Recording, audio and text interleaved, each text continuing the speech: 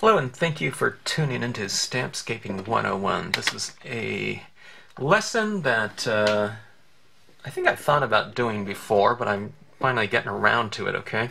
This lesson, this video, is about taking a scene from a given kind of a quality or finish, you might say, and pushing a few different concepts within the scene to make a more complete, I guess, textural and uh, deep visual. All right. And what I mean by that is um, taking a given scene, and what do I do in this video is we talk about extending the range of hue, okay, color in a given color scheme, adding a little bit of extra, whatever color it may be, to a given areas or to given spots in your scene. So there's color, value, taking your scenes and pushing them one step darker or two steps from, you know, kind of a a more limited range of value, okay? Values in terms of darks, okay? Um, shadows, anchoring your scenes down, talking about shadows again, you know, and making things a little bit darker vignettes, and shadows around objects, okay? And then um, what we do is we talk about foreground. Adding something to your foreground to really push the field of view, okay? And the range of uh, depth within a given scheme can really um, do a lot for a given scene. Having something nice and dark, you know, it puts the viewers right into the scenes, you know, as opposed to having something so distant in some areas you might want that, but I'm talking about just in terms of things that you can possibly do if you wanted to. Alright, now after that, what I think I did, I already kind of forgetting, but um, going back into it and adding some additional texture. So we have a given scene stamped out, pushing the textural range of something in the form of some easy gel pen, paint pen, highlights within a given scene, adding stars to a scene, highlights down in the water, highlights on grasses or whatnot. It's kind of, you know, reiterating what's kind of going on in the shadows, except instead of hitting the shadow areas, we're hitting the highlights, okay? And it also, like I said, adds a kind of nice textural range. If you want to add in, you know, little highlights down there, if you want to add in, um, wildflowers to a scene. You can do that with these pens, these types of pens. It's, you know, an opportunity to go into a scene and to add something lighter on top of something darker, okay? A lot of times we're just doing this additive process of getting darker and darker and darker because you can't add like a light blue dye-based ink over the top of black and have it look light blue, okay? colors are transparent. So stuff like that, you know. Um, gel pens are a really fun way to go back in and add, you know, light into dark as far as a textural standpoint. The foreground adds a lot of texture too. We have something kind of hard against, you know, something nice and shimmery. We have something hard here, you know, in terms of this grass. It's a you know, solid object, I'm saying, but the grass itself looks a little bit softer than these foreground reeds, right? But in staying with that theme of textural range now, we've gone back in in some areas and added a little bit of white pigment ink the, with the form, you know, with a little Q-tip, cotton swab, add a little bit of fog next to, you know, I don't know, the water's edge, adding a little bit of that lighter area on a tree so it makes the tree seem a little bit more dimensional. Here's some white areas back in here so I've kind of put the little bit of pigment ink on there and it looks like it's glowing. It looks like it's backlit now. A little bit of fog in the foreground too if you want to. So little things like that really add up. I mean foreground like that you know took me seconds to add in a few impressions of that, okay? One little extra tone like that in these given areas really extends the, the color scheme of given area. Little swipe like that, you know, in these areas to do them all, you know, took less than a minute, okay? Dots, well, it might take a little bit more than a minute, but it doesn't take too long to add those in.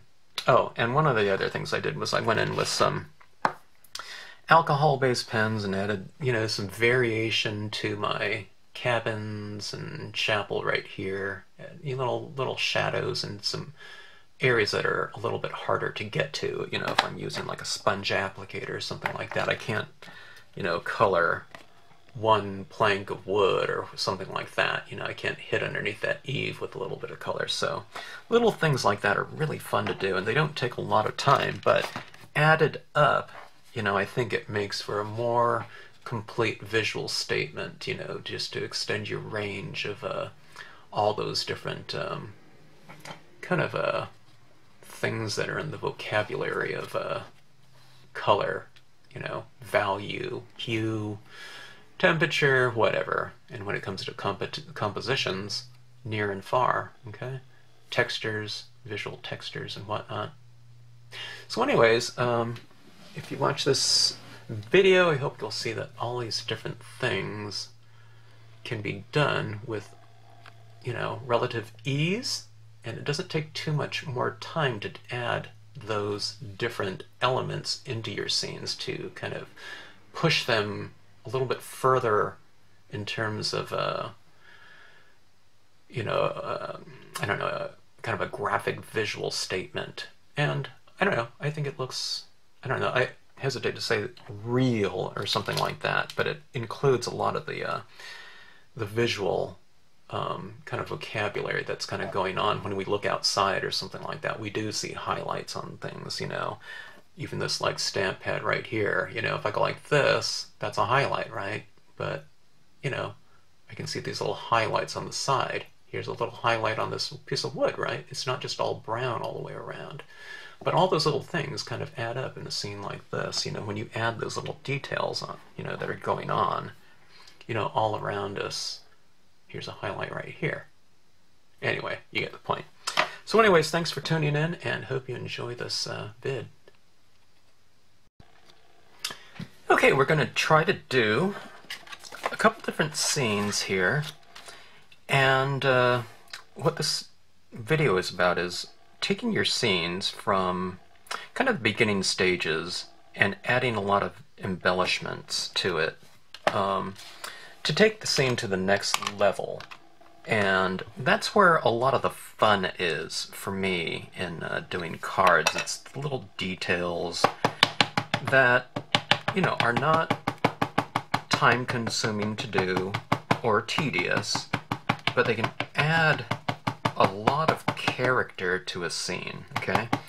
And I'm going to show you all of my little secrets in this. I mean, it's in really all of the videos that I do. You know, I'm doing all of these processes, but I'll kind of explain maybe in greater detail, um, you know, about the specifics of uh, those things and uh, just how easy they can be.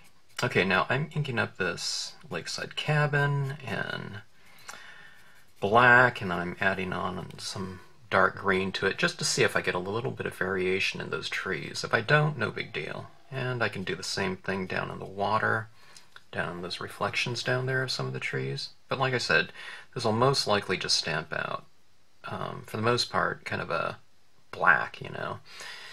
And if I've removed enough of the ink with this green, then we'll get a little bit of variation. But you do not have to do that. You can just stamp it out in black if you want. Okay, let's make this card in uh, a landscape horizontal format.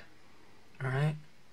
Um, just because I'm going to do the other one in a portrait, you know, kind of more vertical, because I'm going to be using a larger stamp for that one. Okay.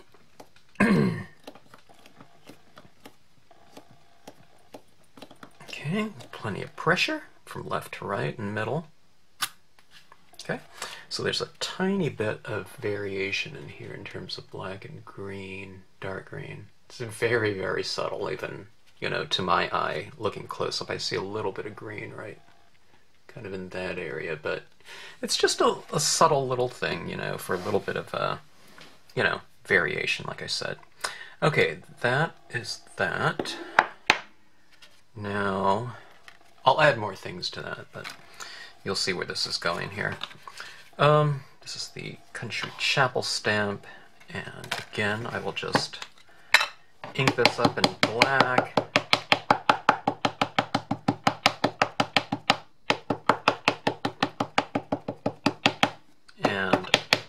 I'll see if I can go for a little bit of variation in this as well.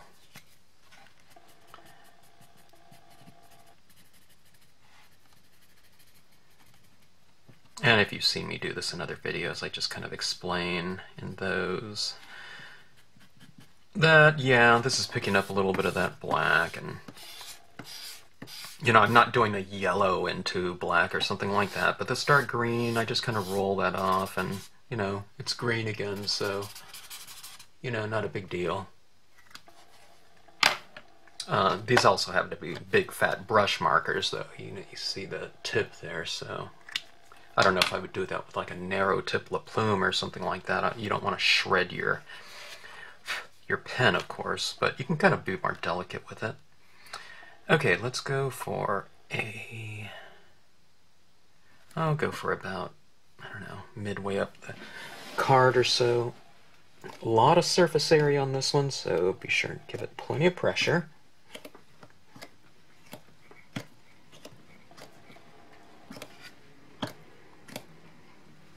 Okay. There we have that. There's a little bit of variation in there. I didn't get some of that rooftop there, but no, not a big deal.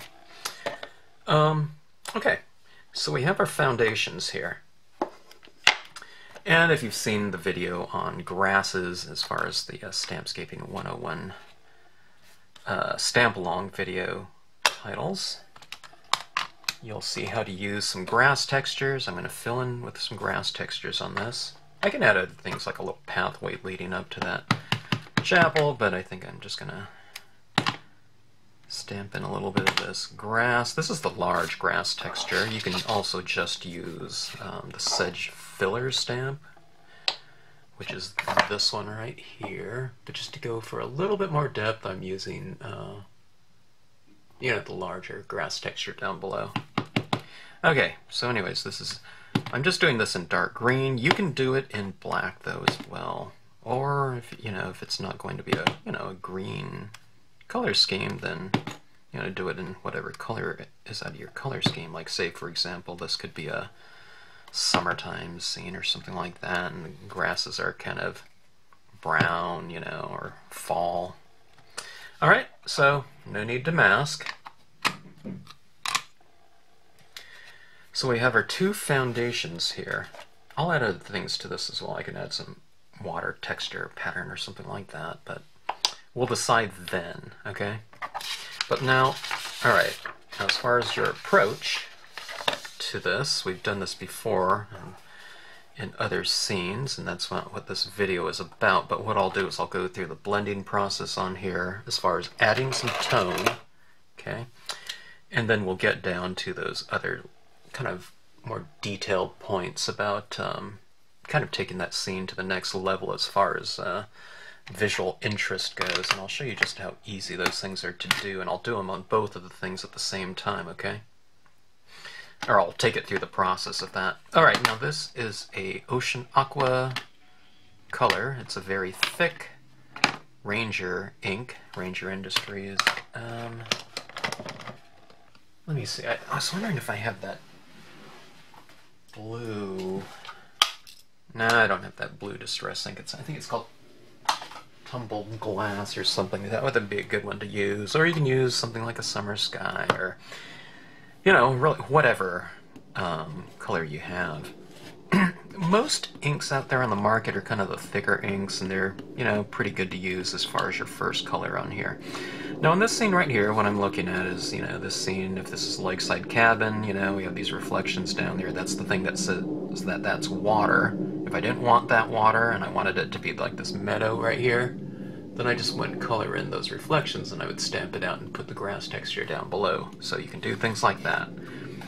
But let's get into our scene here. Uh, my ink up there is a little bit wet still, so I'm kind of smearing a little bit of it, but not a big deal because we're going to be adding a lot of different things into this scene. But here's the thing, okay, now as far as adding your color. Now this is not what this video is about, but we'll just do some review. I'm just taking this, swiping it in in a nice kind of gradual fashion. I'm staying in one area like this. See, I'm kind of dragging it across, but uh, let's say I don't want to get too much streaking in those trees, but eh, it's not too bad. I'm dragging a little bit of color, but it's kind of just blending right in. as far as the smearing aspect of that black ink goes, but like I said, I'll live with it. Alright? Okay, now here's the thing. Just leave some areas light. Alright? And that's the thing that beginners do. They tone everything out. They color every square inch of something, you know, so that's kind of to be expected because in most forms of stamping, what you do is you have these areas, right? These zones, in, you know, in terms of outline stamps. And when there's an outline of some area, in a lot of those forms of stamping, what you're doing is you're coloring in that entire area, one solid gradation value of color, okay? So here's water, we're coloring it all in, but I like, for variation's sake, lighting in a scene, okay? So let's say right here, we have some kind of area of light up here, right? It's very subtle, okay? And there, I live in an area of light down here, so there's two areas, okay? So I streak all these colors in, but I leave a couple areas just as is, okay? Now that's going to really help us with our, um, you know, kind of a uh, scene enhancement uh, section. Okay, now this is going to be a blue sky and a green grass area down below, so I'm just going to use the same blue up here. But see this area of the sky? I'm going to leave some of it just light, so it represents kind of a cloudy area. Now, if you have like a cloud or a moon or a sun or something like that, then you would have an actual object to work around, okay? So you'd be doing the same type of concept but you'd just be working around an image. Okay, I'm starting to smear a lot of, there's a ton of ink in there, so I need to be a little bit more careful about taking some of that in there, but I'll still retain some of the light um, areas of the, uh, the scene, okay? Now, blue relates to green, right? Because blue and yellow mix to form. Um, green, so I can take some of this blue and add it to my grassy area. But see, I'm just leaving some of it light. I can even put some of this up on the, uh, on the chapel if I want a little bit of color on some areas of the chapel. Okay, so there is kind of a lighting and reflected lighting. Okay, and that'll come into play. You know, the more we uh, work on this. Okay. But see how easy this is? I'm just streaking the color in, but just leaving some areas like that. Now all you have to do is when you go into this, let me try the salvia blue. I'm just going a little bit darker. See, it's not, you know, that's what it looks like fully, you know, applied, but see, I'm kind of streaking that out like that. And we get this nice even blend. Okay. And you'll when I get a little bit darker and a little bit darker, you'll be able to see better kind of that, you know, that idea of that lighting scheme in here in terms of uh, light and reflected light. Okay, so it just looks like that.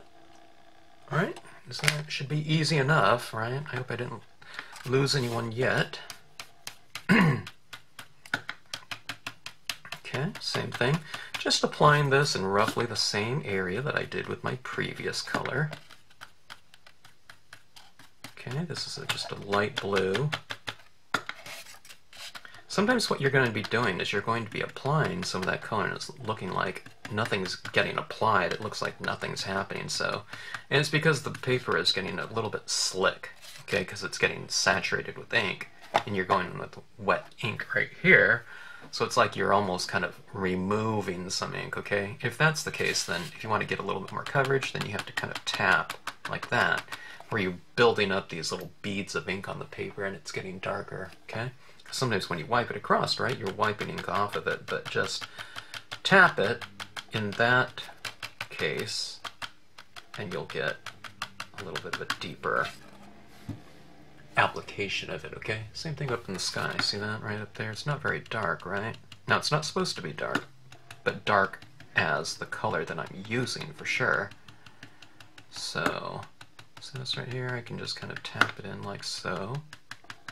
And see, I'm kind of moving my wand. I'm not just tapping like in one small area like this and never moving my wand. Then I'm going to get an oval shape, okay? So I can see this, I'm kind of moving around a little bit like this, but I'm seeing I'm staying in one area, I'm not tapping it around like this. Okay?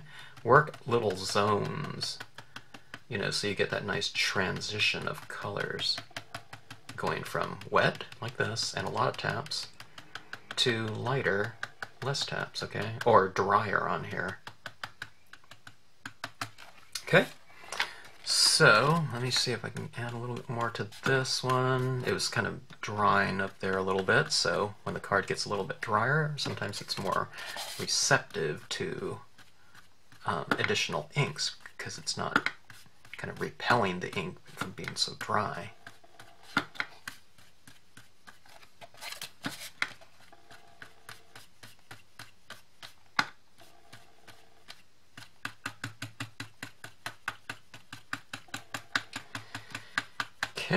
And you can kind of see the uh, that streakiness kind of uh, coming about even more.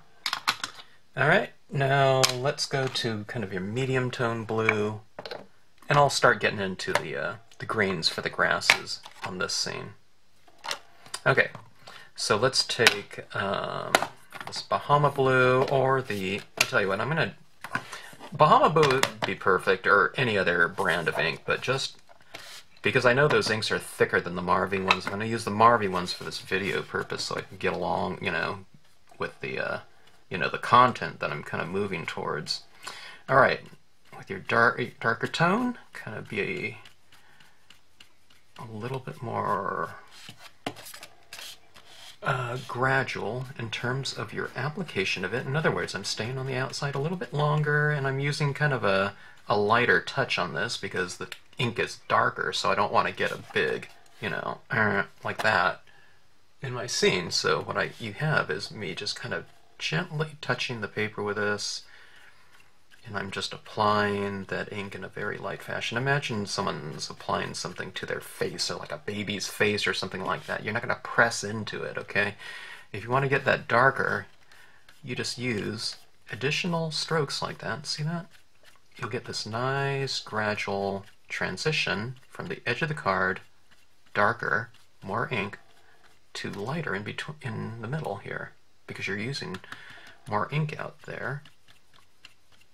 And then you're just lightly taking this in. Okay, I'm not going with a straight line like this and then coming up. It's more of like this, you know, it's whisking, okay? Turn your card over, start again from the outside.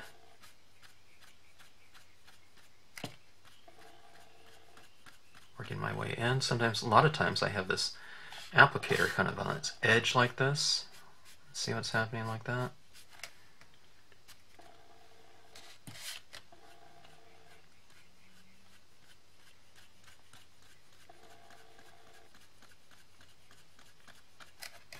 Okay, so we can see it. You know, that's a nice transition right there. Let's use this up in the sky here. Outside in. See, I'm working my little zone here of color. Okay, flip it over. Okay, like so. We definitely have kind of this defined light source up here. It's just this little glow on the horizon, I guess, or behind that uh, chapel. All right, now let me switch tips. Sorry, I've been using the same tip for all those transitions of blue. Let's switch over to this one and I'll use um, some greens down here in the grass. But instead of starting dark, okay, I'm going to start light. Start with whatever the lightest color you have when um, using um, kind of a new hue or defining a different uh, color scheme in a given area of your card, okay? That's not a rule um, hard and fast, but just in terms of building up color and just making the process easier, especially for beginners, start off with a light tone and work incrementally darker. Now, this grass right here might get, might achieve kind of a darker hue in the end result, but that doesn't mean that all of this is a lost cause. The um, the more colors underneath those top colors, the richer the scene will appear from getting achieving kind of a transparent ink color glow, okay? The colors underneath will show through and it'll affect the end result. Okay, that was a uh, yellow-green. Let's try the Memento Bamboo Leaves, a really kind of great earthy tone green. It's pretty bright and warm. Okay, but remember to leave some of that area in there just as is, okay? Nice and light, okay? So remember to do that throughout all of your different colors, um, all of your different values within a given color scheme, okay? This is a uh, cottage ivy memento. It's, you know, it's kind of a neutral, kind of Christmassy green, I guess you can say. It might have a little bit more yellow in it.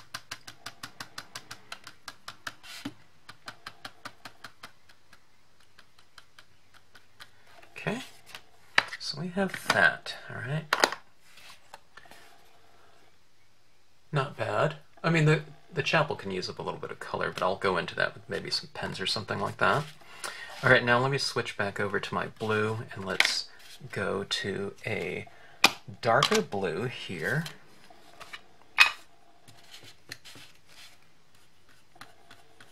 Same type of thing.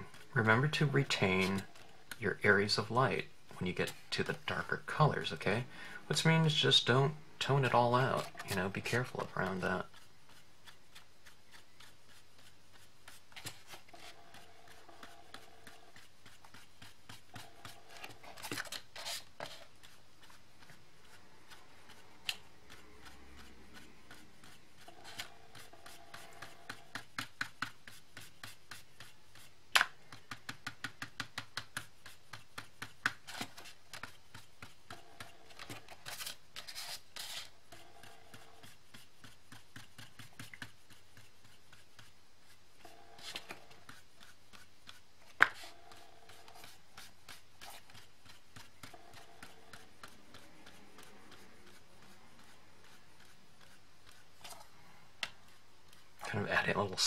here and there for to represent water. Okay, all right, so we have that nice kind of transition of hue going on in here, and really both the scenes. There's some darker areas and lighter areas. Let's address those buildings. Those are something that I think everyone would do anyway. Um, let's go with um, some brown tones. Um, for the cabin and chapel.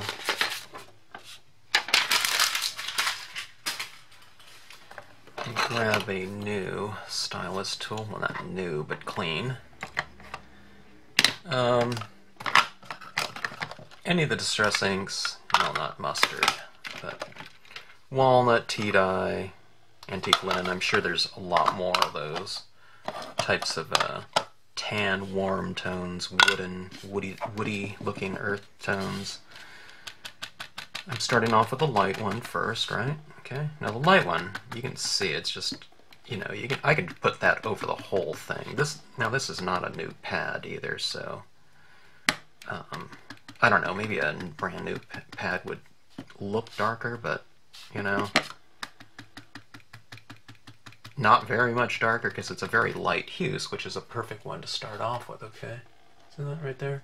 It's not a big commitment to that color, but it's a great foundation to start off with. Let's move to a darker tone, let's say a walnut stain. Now, with the walnut stain, let's hit some areas in here that um, might be kind of a little bit more in shadows. Well, you can do it on the entire vertical sides of some walls, you know, like that. So see there's a little bit of variation because it's darker and lighter up front, right? Looks like it's front lit to me, you know, this uh, building. And how you can tell that is you can just kind of look at the design, or, you know, if you're working with an unmounted one and it's not, you know, um, index like that one, you can just stamp out a version of it and you can see where that design is just darker inherently and just go into those areas and darken those areas with a darker color out of that given color scheme, okay? So the color scheme in the cabin is brown, light brown for overall, and dark brown on the sides or in the shadows. Same thing as something like this. See, I just kind of add that darker brown to that roof, and that, now it looks a little bit more three-dimensional, right? I hit the other color on the roof and on the sides, but on the darker tones, I just did it on the sides. Now it looks like a little bit more three-dimensional, where the roof is capturing some of that light. That's too light for me, though, so I'd like to bring in a little bit of tone, like something like that. Okay. You can hit some of this on those rocks if you want to as well. Okay. Alright, so... Now, I mean, I know this scene doesn't look like it's complete or anything like that. Chances are you would add some other foreground elements or background elements or something in there as far as subject matter goes. But let's start on the kind of scene enhancement stage, okay? This looks like a really good foundation for, you know, scenic stamping right here, okay? But let's go into, well, we're working on color, okay? right now we have these zones of color, okay? There's warm tones right in here, and then there's cool tones right here. Blue, basically. Down here, there's blues in here, and there's yellows. So there's a little bit of variation going in here, but, and up here in, you know, the sky, we just have blue, okay? So we're looking at areas, just blue and green, all right? Now, if we want to extend the range of hue in a given area, that's kind of your first step, you know, to enhancing your scenes, okay? Now, we could have done this along in the process, but I'm just kind of showing this to you after the fact so you can kind of see my points here, maybe. um, okay, so let's take a look at this water, all right? It's just blue. Now, there's different ways I can take this. I can put a little bit of a pink up there in the sky. Maybe it, will look more like um, early dawn or I was going to say, I don't know if it would look like dusk, but um, maybe dawn or something like that. All right. Let's do that. Because I can also take this kind of in greens or something like that, more aqua. But, all right, for the sake of this video, let's just go with a little bit of pink, okay? pinks, violets, something like that, right? I will add one color. This is pretty bright, so I'm kind of toning it down a little bit. I'm taking some of the color off, okay? And I'm just going to streak this in. It's a very light version of this pink, okay? But in here, while I'm adding kind of one hue to this given color scheme. I'm actually getting more than one version of it visually, okay? Because where pink overlaps blue, it starts to turn more violet, right? And then we have variations of this pink. I'm going to still retain some of that lightness, because I like that lighting scheme up there, okay? But now what we've done is just by adding one color, you've introduced, you know, two colors. There's violet and pink. And then there's variations of that violet. Wherever there's less blue and pink overlaps, it looks like a lighter violet, okay? So you're getting some variation just by simply doing that, okay? now let's have some of this is a reflective type of situation, so why don't I have some of that um, color down here in my reflection as well, okay? So now we've extended the range of hue in two different areas, okay? So you've, in a sense, what you've taken is a, an area of blue and we've tripled it, you know, multiplied it by three. Okay, now you have three tones in here. You have violet, pink, and blue. So suddenly you've already extended the range of those ones out. Now, Here's what I like to do too. Here's another one of my little secrets too. Um, if I was to do, you know, if that's the lighting in here, okay, that kind of pinkish lavender color scheme represents lighting in here, right? Because those are lit areas. I can bring some of this pink down here into my rock. See, it's very subtle, but it relates to that color because it's reflecting that same colored light. Here's a little bit of this rooftop.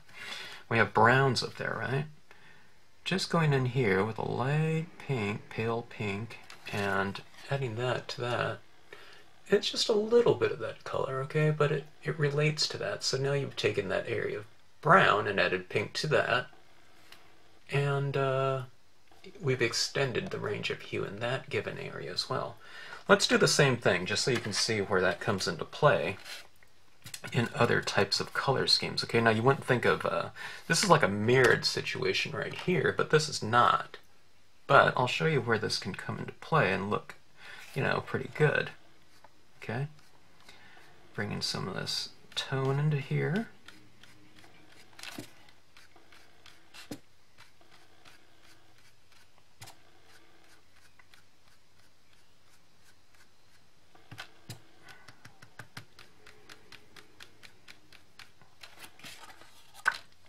Okay. maybe a little bit more like that. Okay. So we get a little of that. It changed the time of day, kind of, right? But now, believe it or not, let's test this out in the grass, okay? So we have light and reflected light, okay? I don't want pink grass, but I might want a hint of it say something like this. Okay. See, it looks like pink, kind of there. It's subtle. You kind of dry brush it in there, right? So suddenly we've changed and extended the range of hue up here and down in this area. Let's add a little bit more here. Okay. Something like that. Back there. Okay. All right, so that is the range of hue, okay? We've doubled, tripled it. And that was, I mean, this is really simple to do. This is one light color, and it really added a lot to it, I feel. Okay? All right. Um, I'm trying to think if I wanted to add something more. Do you know how I went with some of that um, walnut stain? in the chapel, okay? And on the cabin here, let's take the same walnut stain, brown, okay? And also add that down into the grass, okay? Giving it something to relate to in terms of the usage of hue, different colors of, you know, different colors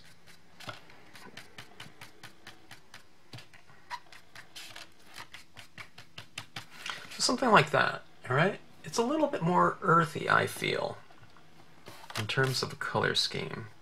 And that, I like that when it comes to my grass. Okay? I feel it looks a little more, I don't know, I hate to use the word realistic, but, you know, something like that. Okay? So, just with a couple little colors, this is like tweaks, it's not doing like massive, you know, changes on here or something of that sort. Okay, so what you do in your various areas, we already have kind of a change of value in these areas just from, you know, avoiding the white of the paper. But going back into those areas now, you see where those areas of white really come in handy because if you want to get a pure version of another color, you can get that because you've left it white. If everything up there was all blue, you can add that pink up there, but you wouldn't get those all that variation of pink, lavender, and blue just by adding one color like that. You'd have lavender and maybe various shades of it, you know, dark, you know, light, whatever. But retaining that light in there really helps out that aspect of the uh, of the tweaking, uh, for lack of a better word. Okay, so we've extended our range of colors in here. Okay, now here's the thing that I like to do as well um, that I think is really effective in scenic stamping. Okay, now we have these areas in here, blues, greens, whatnot, okay? Let me find my tip here. Okay, there's my blue one. Okay, now what we can do too, we've extended our color range, okay? Now I'll show you how simple this is right here. We're going to push the value range in here, okay? That just simply means going with a darker color in certain areas, okay? One of the easiest ways to do that. Let me see, I think I already used this blue in here, or did I? I think I did, but it might have been on a kind of a wetter piece of paper. So let me see if I can get a little bit darker using this one. And I can, okay? This is just your dark blue. It's kind of a navy blue. You can go with whatever navy blue um, you have, okay? But see this right here? You can see on one side the difference between this side and this side, okay? It's really pushing the the value range, okay? But now you don't have to go in too far. I mean, I went in, you know, decent ways on this, but it was with a drier version of it, okay? I'll do this on the top two corners, okay? And that's all it took. It was simple enough, okay? But we've suddenly, what we've done is we've pushed the value range from light to darker right up here. And I'll go even darker after that. I'll show you what that looks like. Okay, now sometimes on my horizon lines, I like to kind of separate the two areas of light with an area of darkness. Okay, but now here's the thing too. When we're getting darker, hit your shadows with whatever color out of your color scheme relates to those areas. In this case, it's going to be blue. Okay. So see, I've hit the shadows in here a little bit more. For, for me, it kind of anchors the subject matter the objects into the scene more when you have kind of this idea that they're casting some shadows, okay?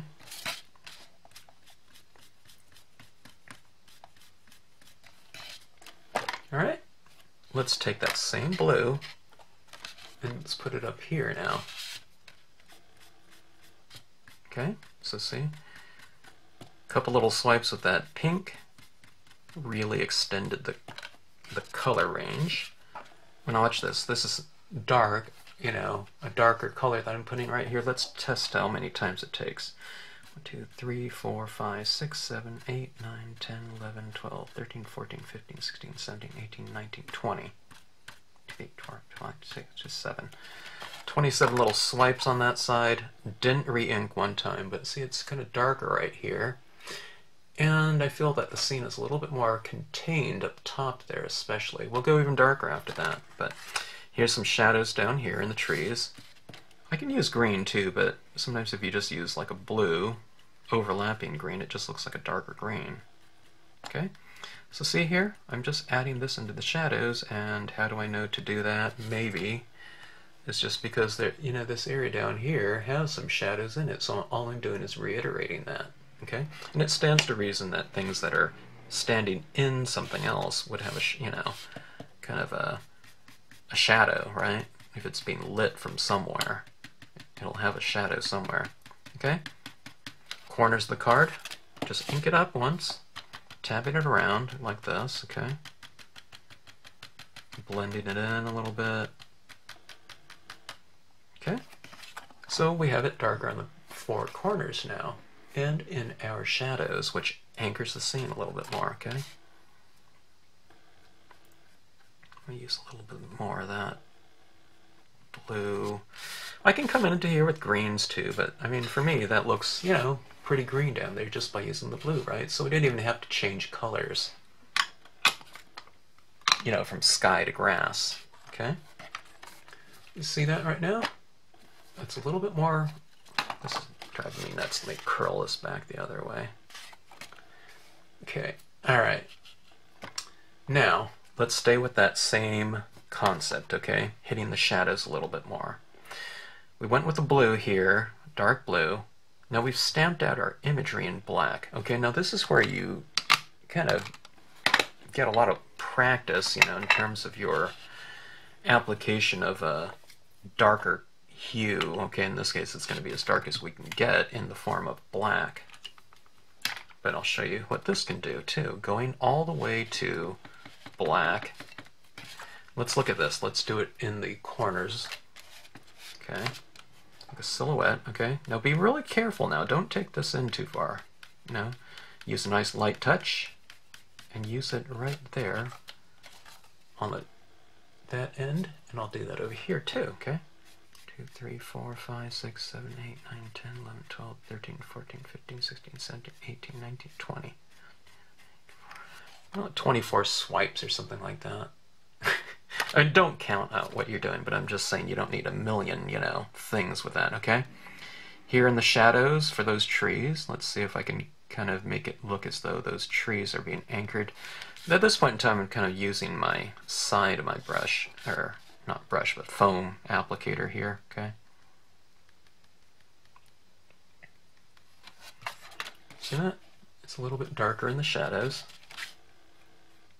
I can add this into the grass as well. It's kind of looking like a gray, gray-green in those areas, okay? How about the bottom left and right corner?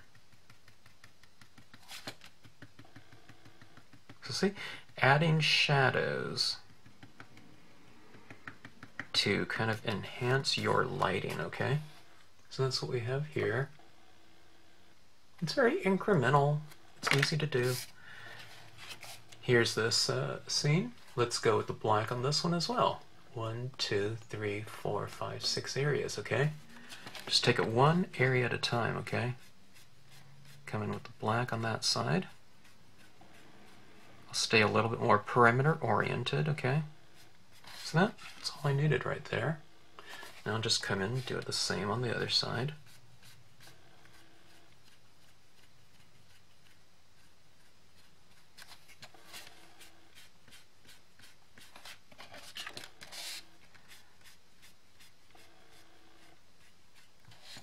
Okay, let's do the same down here in the bottom corner.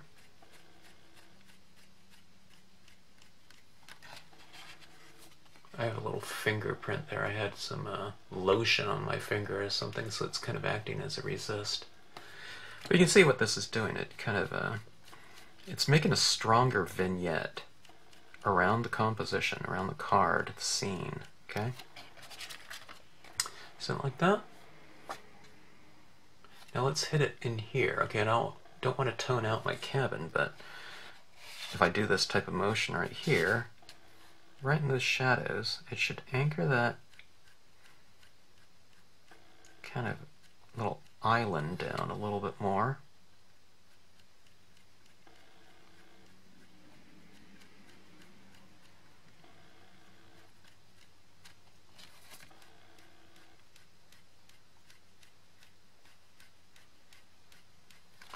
Okay, save that. It's a nice um, values um, range now. We have lights all the way to pretty dark there. Okay? All right, now that being said, what we can also do at this point in time is add little things like, um, you know, additional shadows, but this is just kind of going for an extended value range, just by making your corners a little bit darker and my shadow areas with ink, okay? Alright, so that's done with that. So we've extended our color range. You know, we've taken it from one color and made it three, so we've tripled those areas, like in those areas right there, okay? Down here in the grass, same thing. We've added some browns down here, there's some blues, darker tones. So suddenly this area right here is not just this solid bar of a uniform value green, okay? We have a lot of different greens in here by retaining some of those lighter areas, we see the pure versions of some additional tones laid down there, and that makes the scene, you know, um, visually more interesting, richer. Okay? All right. Now, let's go into the scenes here, and let's add in some additional foreground, okay? This could be done in the form of some trees or branches or something like that in the foreground. So we've done color, shading. Now let's go for field of view, okay?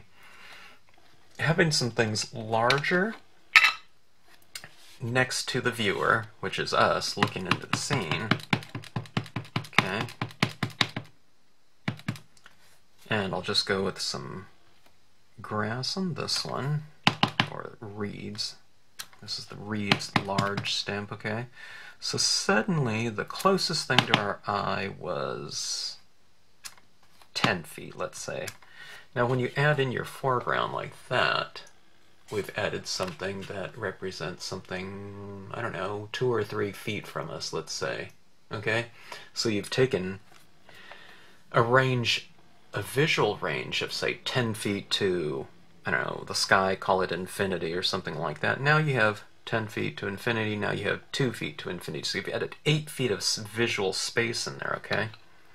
And what this also did was it added extra value in terms of the range of values down here, right? Because it's dark.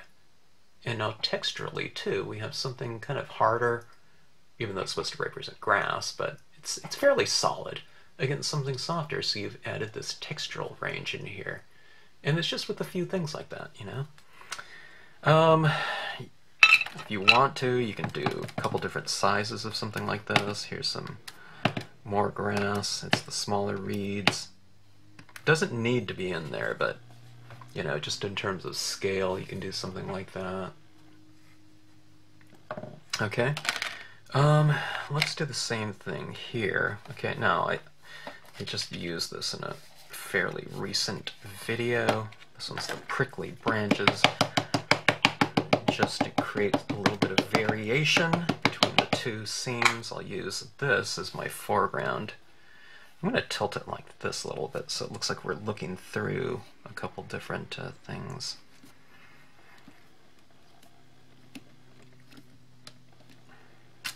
Okay.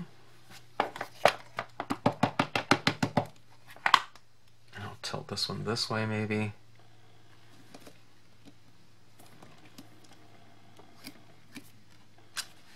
Giving some visual space for the viewer to kind of come into the scene. Maybe I'll go for another impression of this lower.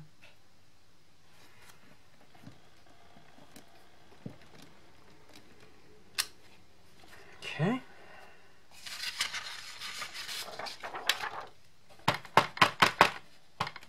like that. I'm, I'm going to go for one more over here too, just to make it a little bit more dense. Okay, two more. Okay, that is good enough. Okay, so we have this foreground here. Now this one, we've really added something close to us. It's like a foot from our eye, okay? So suddenly that was the closest thing to our eye in terms of distance. What was that? Maybe I don't know, 40 yards away or something like that, to now we have something that's, you know, whatever, 12 inches from us. So there's 40 yards to 12 inches. We've added a ton of space, visual space, in that. Okay, so suddenly we've gone when we've um, added space. So we've added hue in terms of other colors, contrast in terms of you know, vignettes and, and shadows. Okay.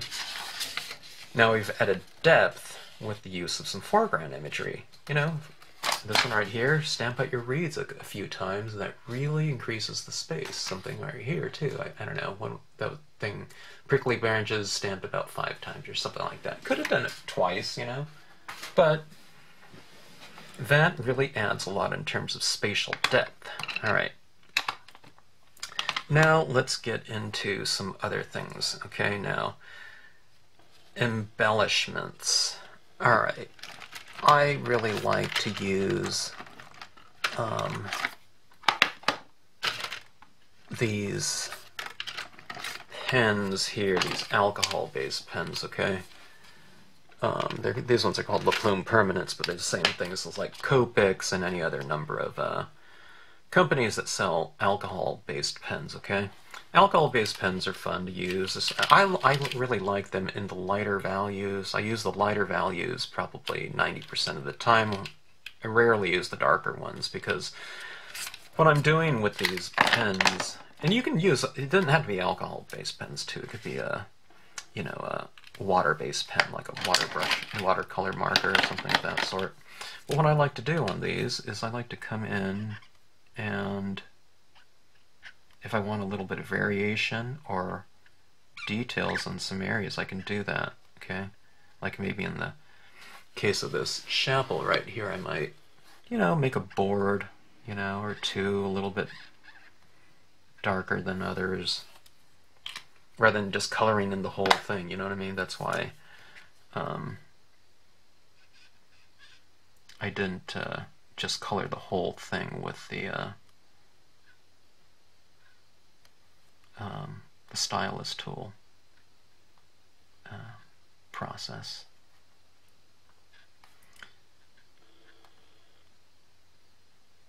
Okay, but anyways, I'm adding a little bit of vari variation to that cabin. I don't like some of those marks, but one thing good about the uh, this is that you can blend it, okay? So as is, I don't like some of these things in here, but I just all I did is just go in here and blend it out a little bit. Okay? See so like this underneath that little eave there. It's a very shallow eave, but um, let's go into that eave and just take this marker and add a little bit of shadow to it like that. Okay. And again, you can just take a look. Where do you add the shadows? Well, add it in the areas that they exist on the design. Just look for shadows on the design. You'll see more, you know, black dots in those areas that represent shadow or shading. Okay, so you can see that right there, little area underneath the eave. It means that light is kind of coming from above, hitting those shadow areas. Okay. And that is a lot of fun. Okay, so detailing like this. I couldn't get up in that chapel right there, or the steeple. But I can hit it certainly with this pen. It's easy to get to, okay? Okay, so that's that. You see that chapel. There's a little bit more variation to it now, right? in terms of tonal variation. That's really fun to do on structures, or if you have rocks that are supposed to be round, hit the shadows a little bit more. What color do you do to the shadows? Depends what color the rock is. Um, stay within the color scheme of the actual object. In this case, these cabins happen to be brown, so I'm using my brown tones tan. Okay, you can see this getting colored in here. See the side of this cabin is darker, so I just went in and I made it darker with the pen. But I don't have to go with like a super dark, you know, version of brown. Just go with a medium or lighter version to start off with and see if you like it.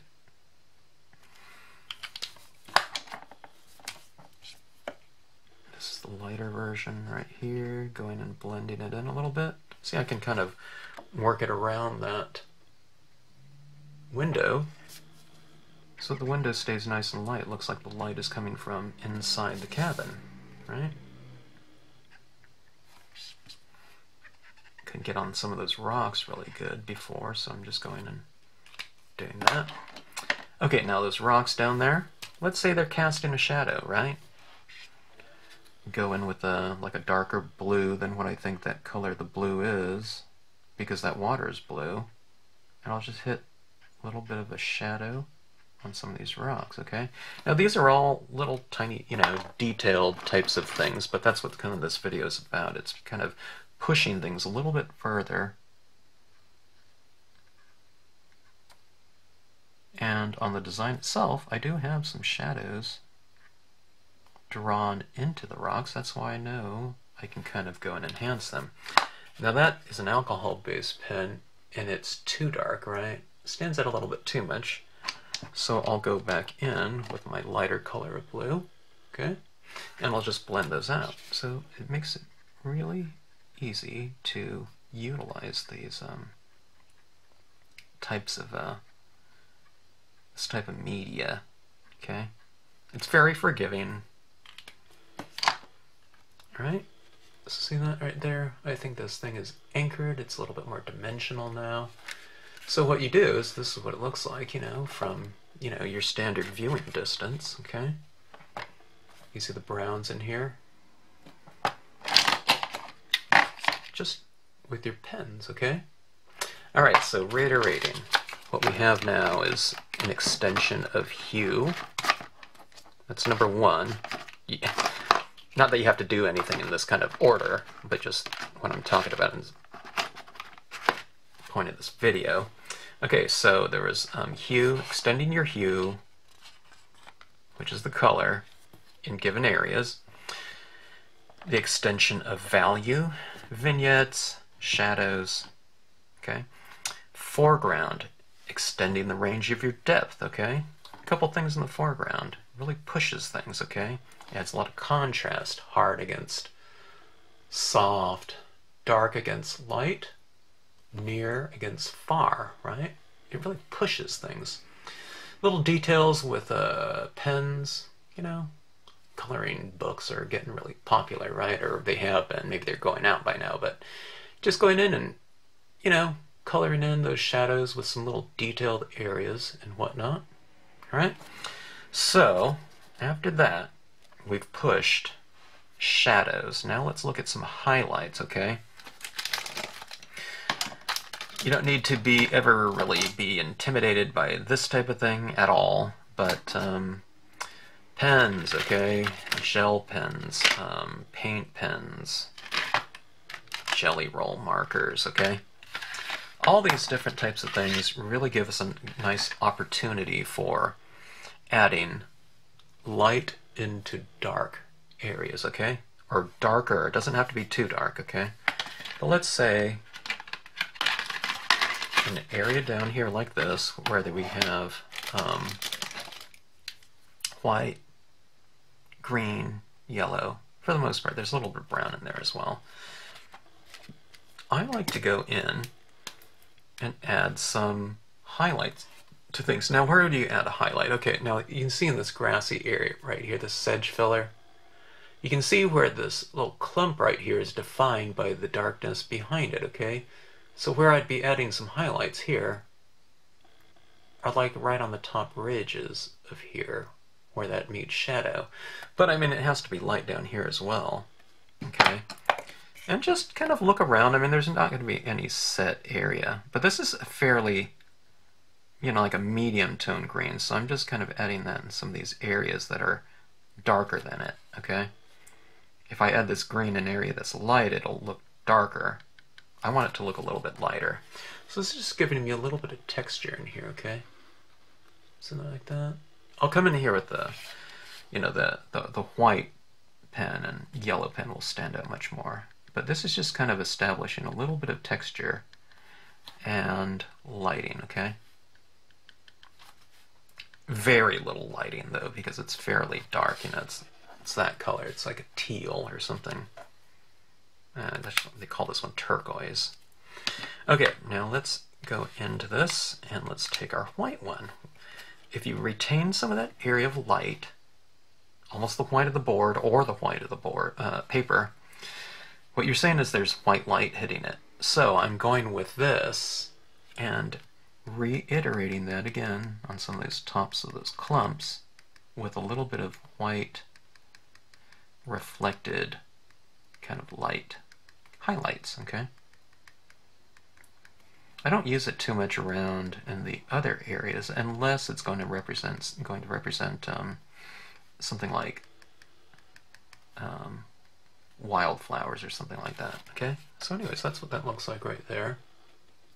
So those little dots, and it just adds up to texture overall when you look at it at arm's distance, which is the standard viewing distance. You really don't see them too much, but you know, there's a little bit of a, you know, highlighting going on there, a little twinkly reflective light, okay? Like so. So, that's adding a few little textures, and it's really fun to do. Okay, down here in my water, um, let's add a few um, highlights in the water, like uh, the water is kind of shimmering specular light, okay? Light that's uh, brighter than white.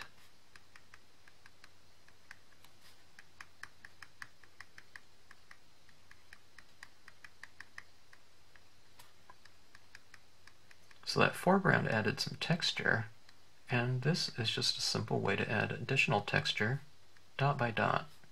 Okay, um, I'm adding quite a few dots here, but I don't know, this took me like, I don't know, a few seconds. I don't know. I don't think it took me a minute. But you see those little dots down there. Kind of dancing on the water's surface type of thing. Where does this also look good? Okay. This looks more like a, I don't know, it's a nighttime sky, or, or it's a daytime turning to night maybe. That's the way I see it. Or, I don't know, could be a glow, early morning glow, but maybe that would be more on the horizon or something like that. In any event, maybe there's a couple stars out, so.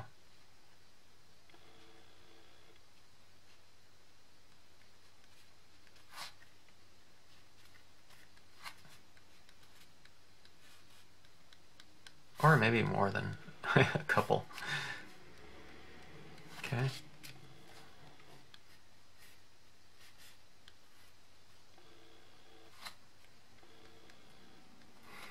adding some of these stars as reflections. I'm not trying to match it up perfectly with what's you know above it, but um,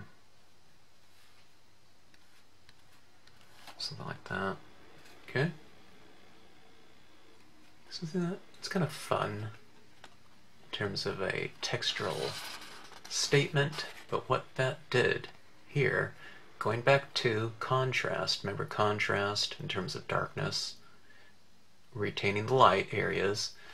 But what that did was you've extended the, uh, the range of contrast within that by a lot because you have something white next to something dark.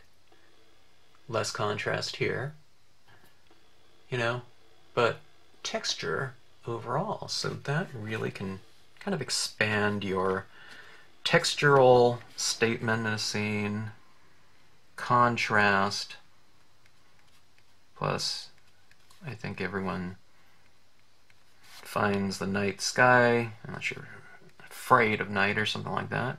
I think you, people like stars in the sky. Maybe you won't see as many in this light of day, but let's say it's, I don't know, kind of more magical in terms of the time of day here. So we have that added, okay?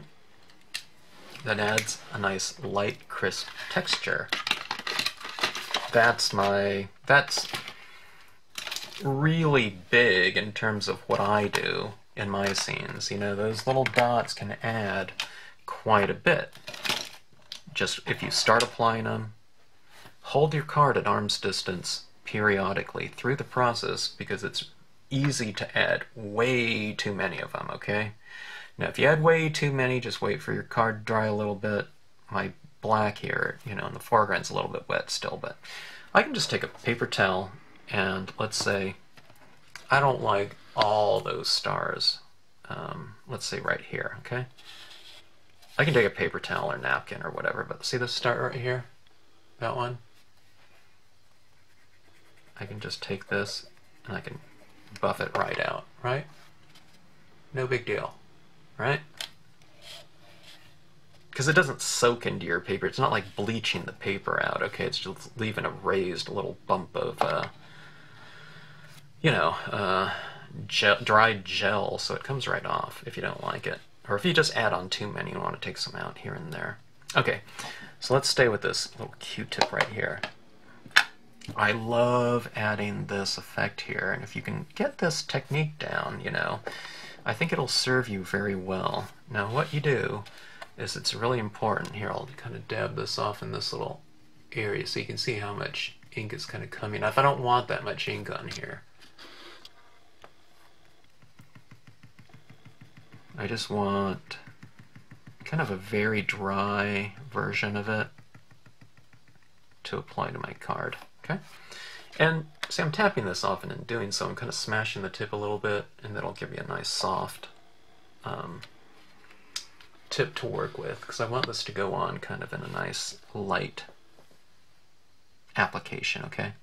All right, so here's some light within here, and I'm going to try to make that tree seem a little bit lighter on the side of the tree facing that light source, okay? Blotting some of it off, I, I applied too much. I take off just as much as I apply quite often, okay? So anyways, let's take a look at that tree. See that tree right there? It looks like it's capturing some of the light. Its light is shining on it, right? Hopefully. And there's a little bit more of a glow to it because that tree is suddenly more translucent. There's this tree right here sitting in some of that light, right? It's white behind it. I can kind of add a little bit of pigment ink into some of those branches that are in that light area. Okay. So suddenly the light is coming from behind that tree because it's a little bit more diffused, right? The lighting. Let's take a look at right up here too.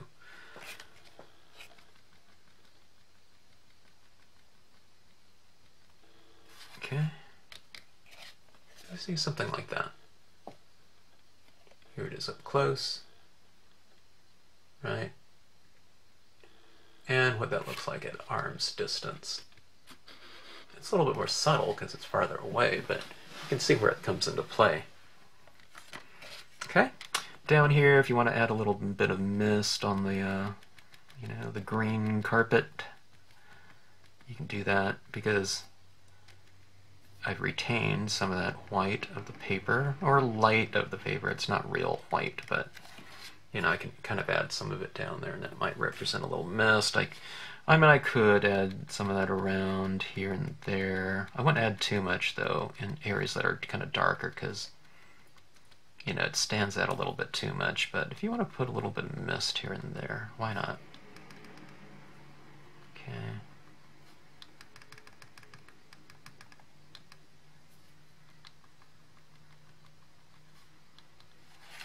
Like something like that. A little mist in the morning, maybe. Okay, now what this is doing is it's adding light into dark, so we're kind of changing the uh, the contrast in some areas. We're lightening it up slightly, okay? And what that did was it turned objects. It's saying that light is hitting it on one side of the tree and not on the other. So we're making the objects look a little bit more three-dimensional it's atmospheric in terms of putting something in the air or may, being made aware of the space in between objects, okay? Let's take a look at this one right here. We've maybe seen a body of water in the morning that might have a little bit of, you know, fog or mist. It's fairly dark in there, so I won't probably add too much of this. Very, very light touch. Almost have too much ink on it, but I'll try to, you know, I can dab some of it off, but I'll just try to uh, dab lighter to apply some of that. Okay, and I can add some of it on the water's surface down here by this light area of the water.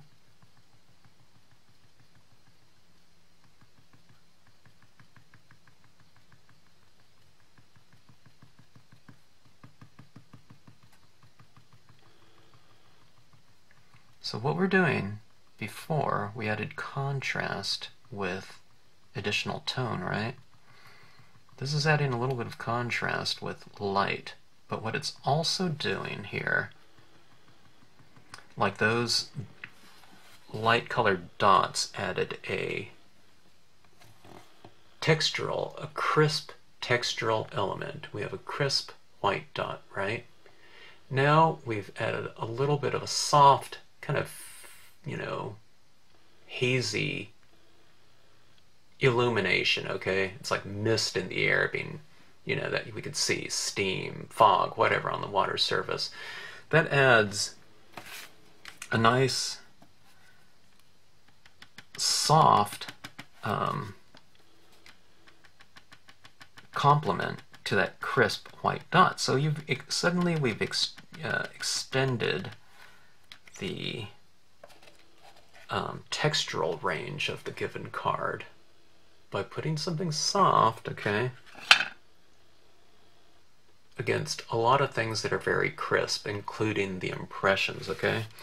So see, all I've done in a lot of these things right here, these different concepts, is I've taken, you know, what was, uh, uh you know, a good-looking scene, you know, as a foundation, I mean, they could have been done as is, but I've added one color, for the most part, you know, to these areas to really change that look. In adding one color, it became almost three because we had where that one color overlapped the other color became, you know, some mix of the two. All right. So one additional color up here, maybe two colors, you know, additional, including black in the four corners, which can really extend the range of values, anchoring things down in the shadows with an additional anchor or two to really set them into the scene, okay? And, okay, here's one object in the foreground, okay? One stamp, just stamped in black in the foreground to extend the range of, uh, um, uh, the field of view all right, this one is reeds. I use two reeds down here, but you know, could have done just one as well. Texture, gel pens, paint pens, okay? To add that little extra twinkling texture, you know, and light in the darker areas, or in the less than dark areas, but just a little bit of texture down there to represent highlights. And to contrast against that, a little bit of pigment ink, okay? You could add more of it in some scenes that are supposed to be foggy or something like that, but just adding that little bit of pigment ink here and there in a very, very light application. Okay, it's, it's not thick, right? See down here is just a little haze. Same thing right there. But that can really introduce this element that didn't exist in a lot of stamped work, which is an element of softness. We have a soft light some soft objects and whatnot. So that those three, well, I don't know, what was it, five different things that you can do, but it was just a small step in each one of those things that can really push your scenes to another level in terms of, uh, I don't know, the res uh, resolution of it or whatever, you know, the, uh, the visual, the visual range of uh, the different um, I don't know, whatever concepts they're running in there, okay?